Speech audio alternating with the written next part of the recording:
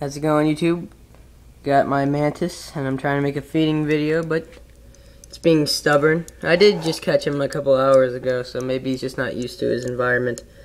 I didn't put anything in his jar yet. I need to find a new one for him because I don't like putting such a great animal like this into such a small environment. He's trying to get out but oh look he's climbing. Hello. He's on the, he's on my iPod. Please get off my iPod. Come here. Thank you. There's the size comparison. Wee riding cowboy. Alright, please go back in. He's like, no. I would not go back in just because you tell me to.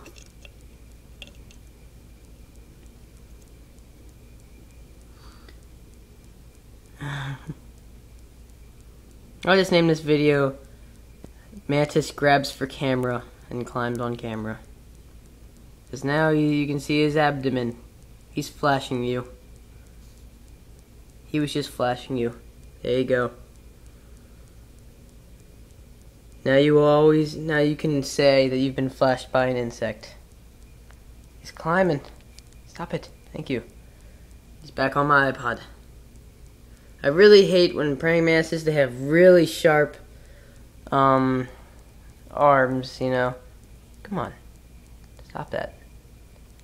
I hate when they have like the real like they have these little um thorns, not really thorns because insects don't have thorns, but um they're really sharp. They grab onto things, you know, they uh, grab on like that. He's still on my iPod. Here we go. Alright, come on, get on the table. No, stop it. You are very annoying. You are annoying, praying mantis. Alright, now we're to put you on the table. No, do not get on me. Come on. Get on the table. It's really cool praying mantis. I want to keep him and feed him and stuff. I usually do keep them, but I I find them only a couple times in the month. I only find a couple not in the month, I mean like in the summer month.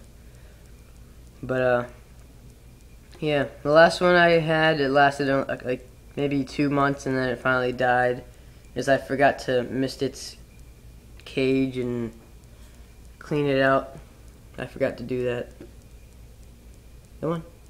Now he's cleaning himself. Get off the camera. Come on. No, don't climb back on me. Just get off. Oh my god. Now he's going really fast. And now he's back on the camera. And now he is finally on the jar. Well, I'll have to try to make a feeding video of him later on.